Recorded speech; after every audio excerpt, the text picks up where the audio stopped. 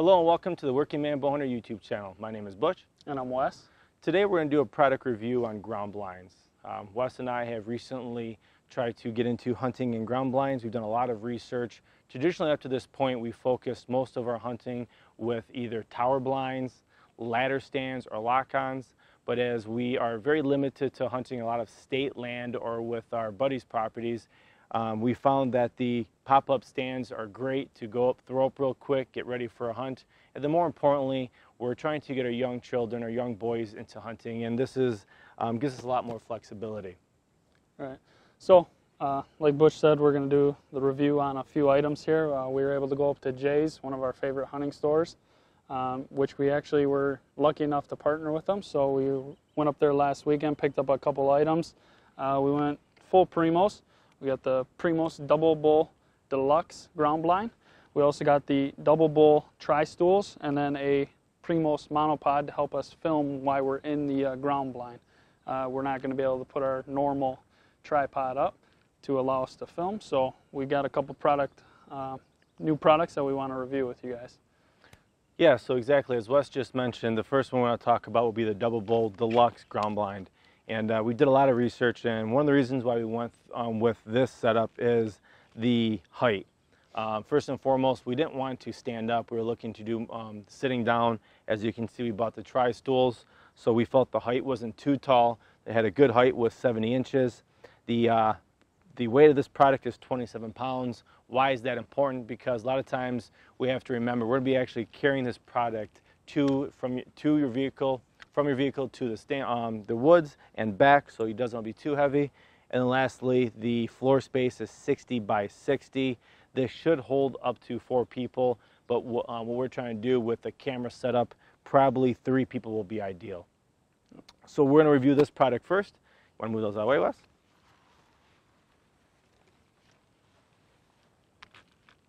All right, so we're going to open this box up together. We haven't opened it up yet. We did uh, check it out in the store a little bit, but uh, we're excited to get into it.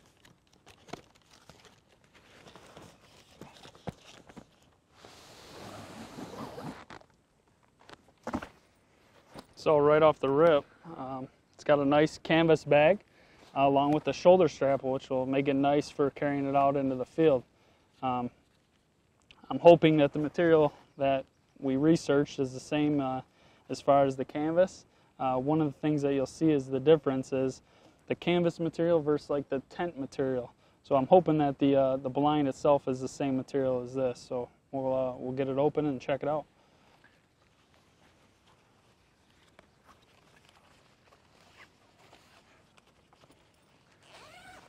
So you can see how easy the straps come on and off. Um, so when you're in the, um, out in the woods, there's no problem there.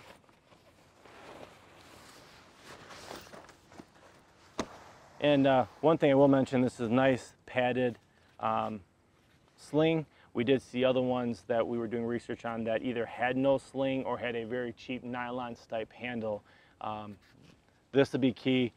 Appears to be very, very durable. So over time it won't uh, rip or tear as you're going to and from your vehicle in the woods. So again, this is our first time setting it up, so bear with us here. All right, now that we have it out of the box, uh, we're going to try to put this thing together and see the um, easy up, um, and then ultimately what are some of the cool features this thing has for uh, bow hunting. So with that being said, it's our first time doing it, so pull it your way a little bit. Do a side first. Pops up very nice, very sturdy.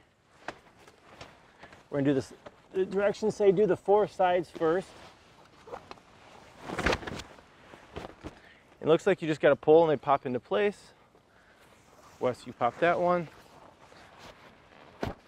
Okay, and then for the top, it does say that go in through the door and do it through the door. In this case, what we, here's a door. This looks like you undo it here.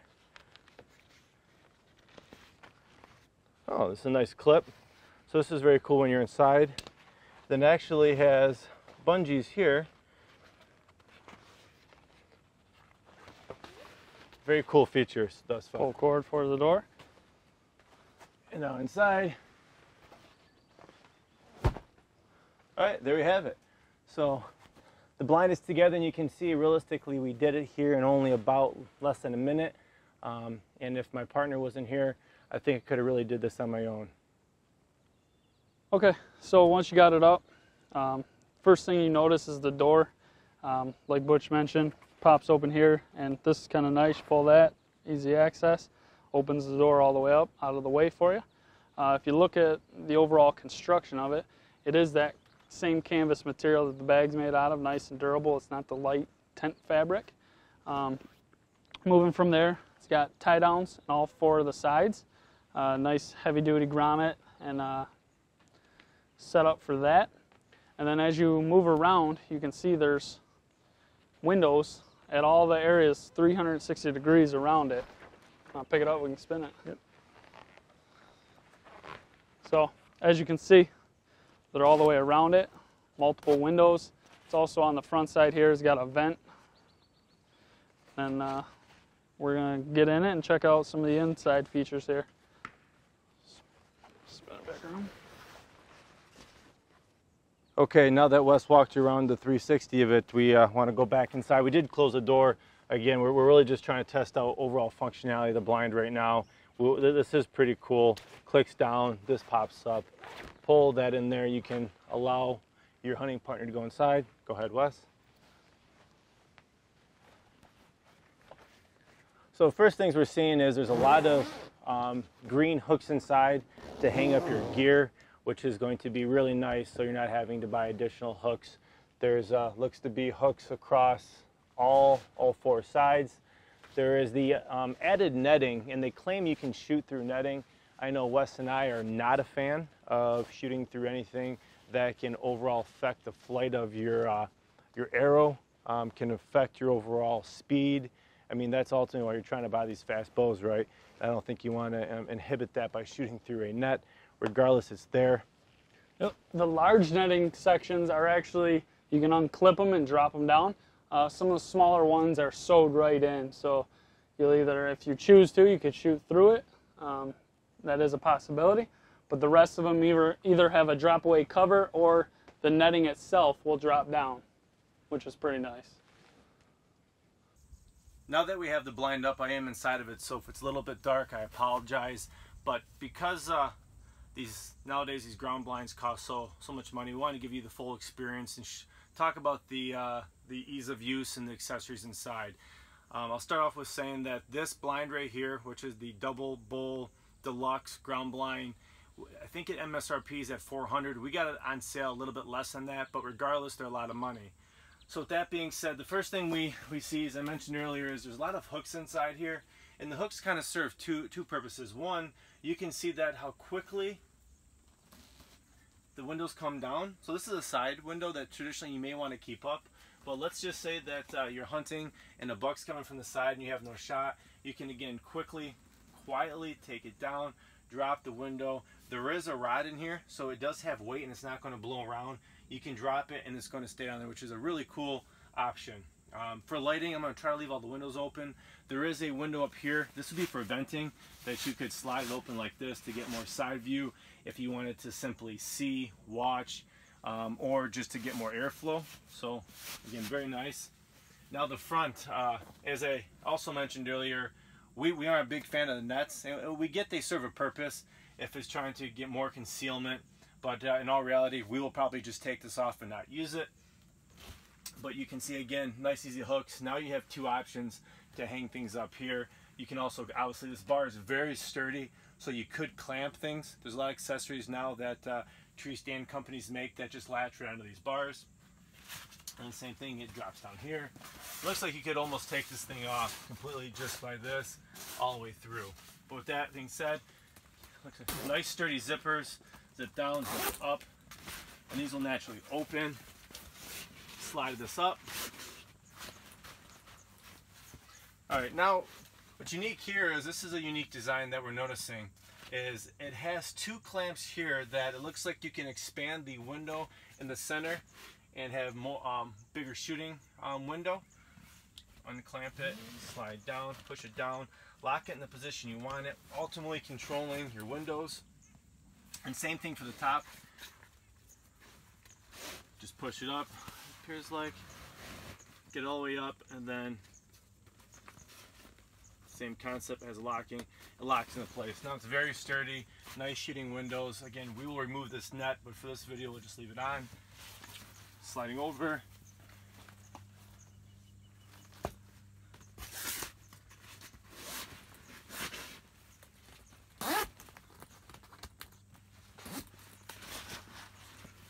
in the side window. Um, there is one more window in the back. Um, same thing we showed you on that side. That would be for uh, more airflow. Um, again, you'd probably keep this closed, but if you got hot or you heard something you want to peek up, you could definitely slide it up. I think on the back one, you'd want to be a little bit more careful because it is going to make a little bit noise where these made really no noise. Uh, the last thing that we noticed is there's a nice window up here again if you wanted airflow. Um, or I guess in case of emergency, if you had to stand up for some reason, but you do get some natural sunlight. This may be really cool if it comes to it being a little bit later at night and you wanted some uh, air to come in or some extra additional light. If you didn't have a lighted sight, Wes and I both do have um, the, the added light for our sight, so we wouldn't need this option, but some people may, so th that is also cool. Um, last but not least, on the very bottom, there are the um, stake pockets to extend this and put the stake through. The uh, stakes are in the bag. They are metal. Um, they appear um, very durable and good shape. So overall, I would say at this point, um, until we get out and actually hunt with it, we are extremely pleased with a couple things. The uh, durability, the ease of putting it up, the, uh, the ease of opening and closing the windows. Well, we're not a big fan of zippers, and that's a lot of lines turned us off is the amount of zippers. Zippers get noisy, um, and that's that's never um, conducive when you're in the woods and you have open um, and closed zippers. So these would stay open, and then again, very nice. And again, one more time, I mean, this is really really nice how they pop up, quiet as can be. Um, that's one of the coolest things I think we like. Time to go check out the the the, the tri stools. All right, now that you got your tent all situated, uh, we needed a couple stools. A lot of guys just take out the old school folding chairs, the old camp chairs, and uh, they use that. A lot of times that'll that'll that'll do in a pinch, but uh, we wanted something a little more uh, intended and designed for the hunting application. So we picked up a couple of these uh, Double Bull tri stools. Um, a couple things right off the rip. You'll notice the nice sturdy fabric material along with the, uh, the sturdy tube design. Um, and then something that I personally liked, they've got a little lock on them. Um, there's nothing more frustrating than trying to lug out all your gear and then you got your chair opening up on you. Um, happens when I'm camping all the time with those old school chairs. So once you undo the clip, take it off, and then you can open it up and uh, get it set up. It's got a nice backrest.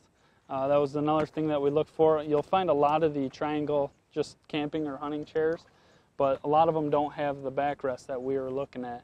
So we did go with the backrest, make it a little comfortable, little more comfortable for you as you're sitting out there for uh, hours on end. And then the other thing was the overall design. A lot of them you would see as just a rect rectangular or square uh, stool. These ones are the triangular design, allow you a little bit more flexibility and movement while you're trying to shoot. Um, again, these are the Double Bull um, tri-stools. Um, they're overall extremely comfortable. Sit down, Butch.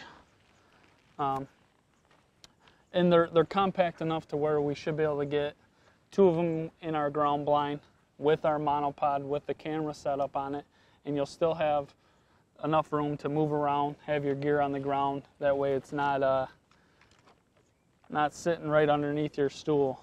So as I said, and a couple other things I noticed is one, it does have a slightly padded seat, which is convenient, and padded back. Um, and you felt me reach here underneath the seat, and this is kind of cool. There's added support that if you guys can see out there, that uh, additional uh, strap going across the bottom. Wes and I each only weigh around 190 pounds, but for those who may be over the 225, closer to 250 and beyond, um, th this will make you feel nice. It's really sewed in nicely. Um, it's thick. It has rubber supports going around each side with nice thick stops right here.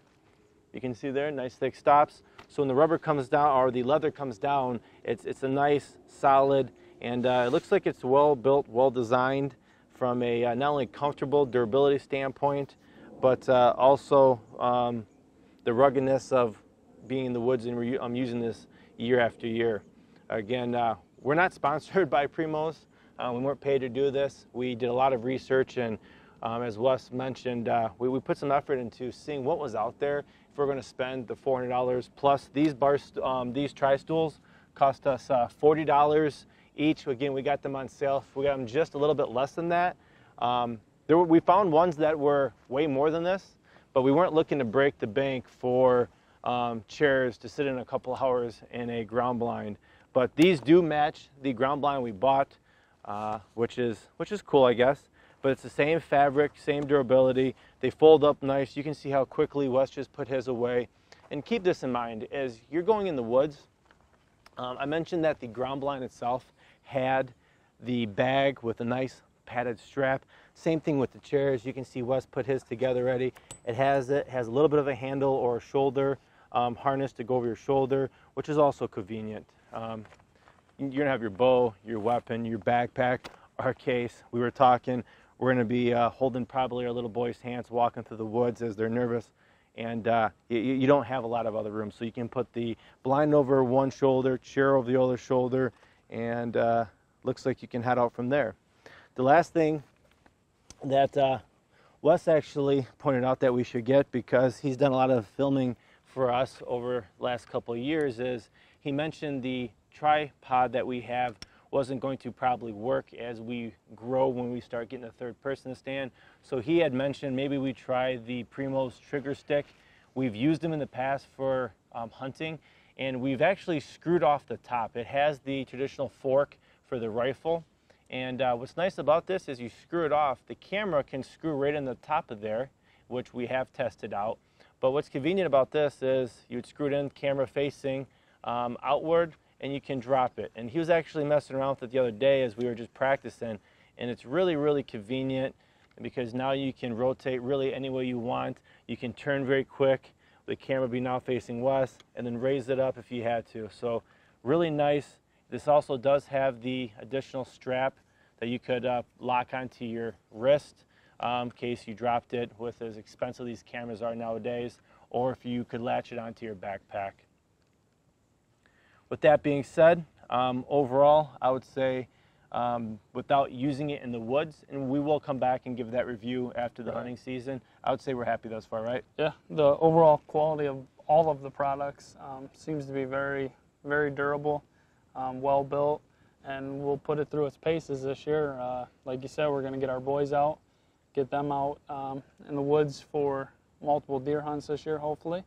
And uh, this these items will allow us to do that comfortably with them and not have to worry about getting them up in a tree. So um, overall, like you said, I think we're very happy so far. Um, we're going to test out shooting out of these.